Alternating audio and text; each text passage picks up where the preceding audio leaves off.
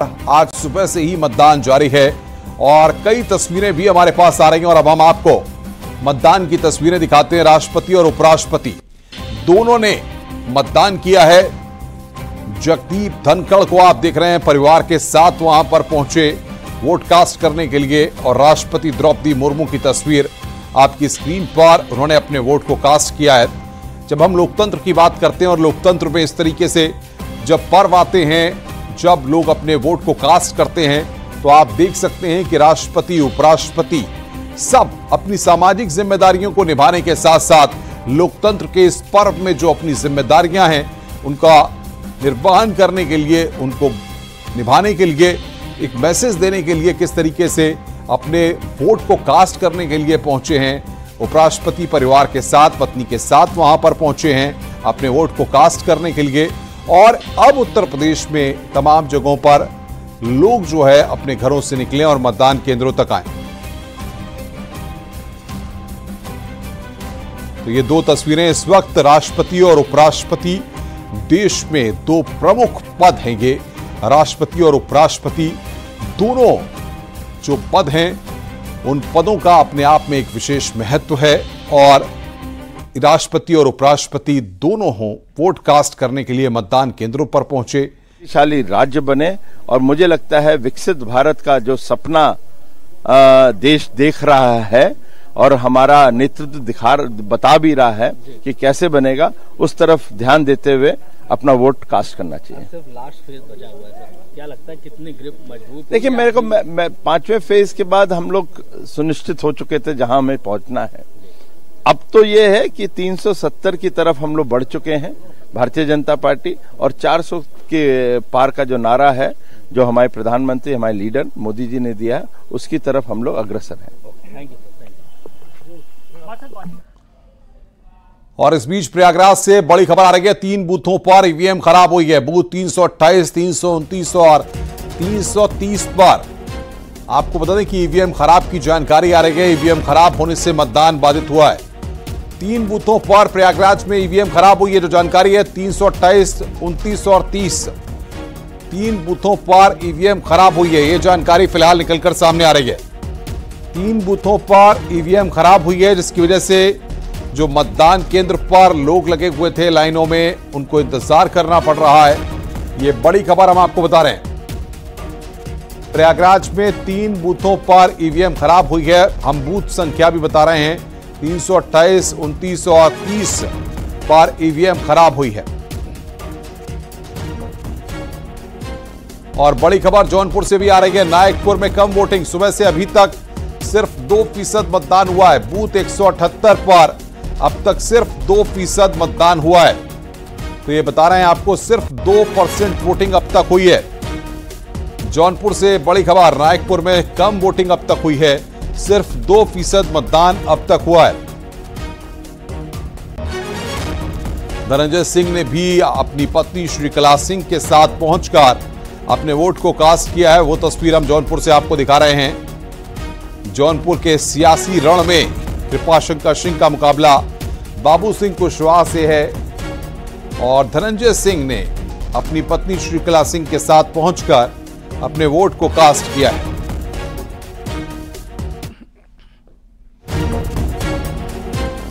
और प्रतापगढ़ से भी एक बड़ी खबर इस वक्त आ रही है। बूथ सत्ताईस सगरा में ईवीएम खराब हुआ है। बूथ दो सौ चौरानवे नारायणपुर में भी ईवीएम खराब हुई है। ईवीएम खराब होने से मतदाता वहाँ पर परेशान हैं। ये बड़ी खबर इस वक्त हम आपको बता रहे हैं। मतदाता परेशान हैं। बूथ पर ईवीएम खराब होने से लोगों को दिक्कतों का सामना करना पड़ रहा है। लोग वहाँ पर लाइनों में लगे हुए हैं, लेकिन अपने वोट को कास्ट नहीं कर पा रहे हैं।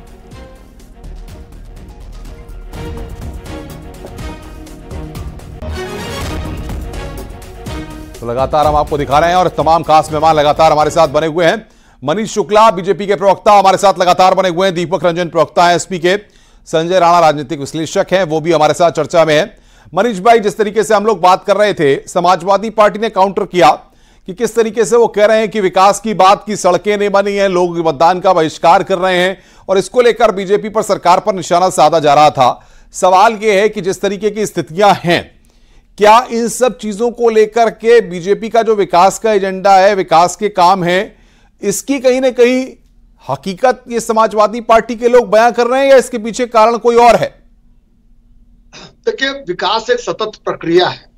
जिस तरीके से पिछले दस साल में विकास हुआ है, सड़क बिजली पानी के क्षेत्र में काम हुआ है, उसके नाते से लोगों की आकांक्षाएँ बढ़ी है और लोकतंत्र में सबको अपनी बात को रखने का अधिकार है। अगर कहीं विकास में कोई चीज़ छूट गई है तो भारतीय जनता पार्टी इसको संज्ञान में लेगी, लेकिन आपके माध्यम से मेरा अपील है कि अपने मतदान का प्रयोग ज़रूर करें। और हमको पता 19 मार्च 2017 के पहले समाजवादी पार्टी की सरकार थी उत्तर प्रदेश में। 10 घंटे बिजली आती थी, चार ज़िले वीआईपी थे और हर जगह 10 घंटे से ज़्यादा बिजली नहीं आती थी इन्वर्टर चार्ज नहीं हो पाता था जनरेटर एक बड़ा उद्योग था। शाम चार बजे के बाद उत्तर प्रदेश के सभी जिलों में जनरेटर के काले धुएँ से पूरा जिला जो है वो ढक जाया करता था। ये बात करेंगे विकास की। हमने विकास भी किया है और विरासत को भी संभाला है। बुनियादी सुविधाओं को समाज के अंतिम छोर तक पहुँचाया है। वहीं अयोध्या, काशी, विंध्याचल कुशीनगर, चित्रकूट और मथुरा में जो हमने विरासत को संभाला है, उसके नाते से न केवल धार्मिक दृष्टि उसको देखना चाहिए, बल्कि आर्थिक दृष्टि से देखिए, आज आज अयोध्या के अगल बगल के दस ज़िले कम से कम, उसके नाते से वहाँ के युवाओं को रोज़गार मिल रहा है। वहाँ करीब पचपन साठ हज़ार करोड़ का निवेश हो चुका है। इतनी ही, की योजना पाइपलाइन में है। काशी धाम आज काशी भाई मैं रोकूँगा आपको आऊँगा मैं आपके पास नौ बजे का पोल परसेंटेज आ गया उसको दर्शकों तक पहुंचाना सबसे पहले ज़रूरी है। मछली शहर में नौ बजे तक तेरह दशमलव तीन दो फ़ीसद मतदान। बलरामपुर में बारह दशमलव नौ छह फ़ीसद मतदान हुआ है। अंबेडकर नगर में चौदह फ़ीसद मतदान। बस्ती में चौदह दशमलव आठ फ़ीसद मतदान। प्रतापगढ़ में तेरह दशमलव एक पाँच फ़ीसद मतदान। लालगंज में तेरह दशमलव नौ पाँच फ़ीसद मतदान। आजमगढ़ में चौदह दशमलव एक शून्य फ़ीसद मतदान। ये नौ बजे का, जिस बात को लगातार मैं कह रहा था कि नौ बजे का जो पोल परसेंटेज है, उसको दर्शकों तक सबसे पहले न्यूज़ एटीन पहुंचाएगा। और यहाँ पर ये सबसे पहले लगातार हमारी स्क्रीन पर आप देख रहे हैं कि आपके यहाँ पर, जहाँ पर मतदान आज हो रहा है, वहाँ पर अब तक नौ बजे तक कितने फ़ीसद मतदान हो चुका है? और ऐसे में न्यूज़ एटीन भी एक जिम्मेदार न्यूज़ चैनल है। आम जनता से सरोकार के मुद्दे हम लगातार उठते रहते हैं। और सोनिया गांधी की तस्वीर इस वक्त आप देख रही हैं। और सोनिया गांधी की तस्वीर हम आपको दिखा रहे हैं। सोनिया गांधी, राहुल गांधी वोट कास्ट करने के लिए पहुँचे हैं। यह तस्वीर आप देखिए। राहुल गांधी को और सोनिया गांधी को आप देख रहे हैं। अपना वोट कास्ट करने के लिए यहाँ पर पहुँचे हैं। 2024 के सियासी दंगल में यह तस्वीर आप देखिए। सोनिया गांधी और राहुल गांधी की तस्वीर इस वक्त हम आपको दिखा रहे हैं। राहुल गांधी और सोनिया गांधी अपना वोट कास्ट करने के लिए यहाँ पर पहुँचे हैं। वो तस्वीर हम आपको दिखा रहे हैं। राहुल भी साथ में मौजूद और वोट कास्ट करने के लिए वो पहुँचे हैं। मतदान करने के लिए सोनिया गांधी और राहुल गांधी पहुँचे हैं। वो तस्वीर हम दिखा रहे हैं आपको। मनीष शुक्ला जी हमारे साथ लगातार बने हुए हैं। मनीष भाई, सबसे बड़ी बात यह है, चाहे राष्ट्रपति की बात करें, चाहे उपराष्ट्रपति की बात करें, चाहे सोनिया गांधी की बात करें राहुल गांधी की बात करें जब तमाम लोग, चाहे किसी भी राजनीतिक दल के हों, मैं राजनीति से इधर बात कर रहा हूँ, जब वोट कास्ट करने के लिए मतदान केंद्रों पर जाते हैं और स्याही लगी उंगली दिखाते हैं तो एक गर्व महसूस होता है। एक लोकतंत्र के पर्व में भागीदारी करने के बाद एक अलग कॉन्फिडेंस महसूस होता है। आपको लगता है कि हर किसी को, चाहे वो किसी भी कोने में हो, उसको इस ज़िम्मेदारी को, इस निर्वहन को करना चाहिए। करना चाहिए। मतदान हमारा कर्तव्य भी है और दायित्व तो भी है। और अगले पाँच साल तक हक से, अपने जनप्रतिनिधि से उनके कर्तव्यों को और उनके दायित्वों के निर्वहन की अगर अपेक्षा आपको करनी है या आप करते हैं तो अपने भी दायित्व और कर्तव्य का निर्वहन करना चाहिए। और देखिए, हम लोग सामाजिक राजनीतिक क्षेत्र में काम करते हैं। तमाम लोग जब मिलने आते हैं, वो कहते हैं कि हमने आपको वोट दिया था। ये जो कॉन्फिडेंस है, वो मतदान से ही किसी को मिलता है। वो मतदान अवश्य करे। और मतदान ही वो मतदान ही वो आपके पास साधन है जिसके नाते से आप अपनी विचारों को प्रकट कर सकते हैं कि अमुक पार्टी से हम खुश हैं या बहुत महत्वपूर्ण बात करें। दीपक जी मैं आपका भी रिएक्शन इस पर चाहूँगा। आप समाजवादी पार्टी के स्पोक्स पर्सन हैं। आप किस तरीके से देखते हैं जब बड़े नेता चाहे अंग राष्ट्रपति की बात करें उपराष्ट्रपति की बात करें जो बड़े पदों पर आसीन हैं वो लोग भी या सोनिया गांधी राहुल गांधी भी वोट कास्ट करने के लिए गए हैं। तो आ, क्या मैसेज जाता है? देखिए, ये तो अच्छी बात है इससे लोगों को प्रेरणा मिलती है, लोग कम से कम घरों से निकलते हैं जिस तरीके से वोट परसेंटेज कम हो रहा है, जो सोचने का विषय है, इस पर लोगों को विचार करना चाहिए कि आखिर वोट परसेंट कम क्यों है? कि बहुत ज़्यादा ईवीएम खराब है, खैर चलिए वो तुम मैकेनिकल चीज़ कर लेकिन अभी हमारे भाई जो बिजली, सड़क, पानी की बात कर रहे थे, ये लखनऊ का आज का पेपर है।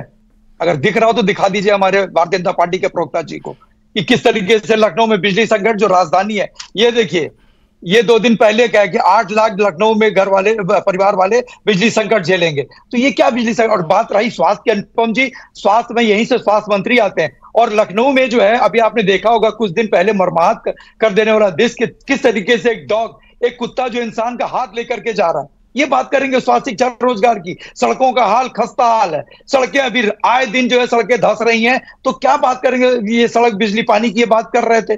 जनता देखिए, सब देख रही है। जनता सब आकलन कर रही है और जनता इसी आधार पर वोट देने जा रही है। क्योंकि जनता ने मन बना लिया कि दस साल में, सिवाय जुमलेबाजी के उन्होंने कुछ नहीं किया और सात साल से उत्तर प्रदेश में, अनुपम जी, जो सरकार है, उसने आज उत्तर प्रदेश को परचालिक प्रदेश बना दिया साठ लाख जो है रोज बेरोजगार नौजवान छात्रों के भविष्य के साथ अगर खिलवाड़ करने का काम किसी पार्टी ने किसी सरकार ने किया तो भारतीय जनता पार्टी की सरकार ने किया। नहीं सवाल यहाँ पर यह भी खड़ा होता है कि जिस तरीके से आप दीपक भाई कह रहे हैं तो ऐसे में क्या इस बार जो जनता है इन सब चीज़ों को ध्यान में रखकर वोटिंग कर रही है और इसका फ़ायदा आपकी पार्टी को होने वाला है? जी ये मैं नहीं कह रहा हूँ। ये तो दैनिक हिंदुस्तान कह रहा है उसके ऊपर ये चैलेंज कर दे मानानी का दावा टोक दे कि हमने तो बिजली दे दी तुम गलत क्यों छाप रहे हो? ये हम नहीं हम नहीं कह रहे ये तो भाई राजधानी है लखनऊ उत्तर प्रदेश की राजधानी राजधानी में मनीष भाई ये बुनियादी मुद्दों की बात कर रहे हैं बिजली पानी ये सब सारे मुद्दे हैं जिनको जनता ध्यान में रख रही है। मैं जवाब लेता हूँ बीजेपी के स्पोक्स पर्सन दीपक जी सुन लीजिए मैं जवाब ले लूँ एक बार।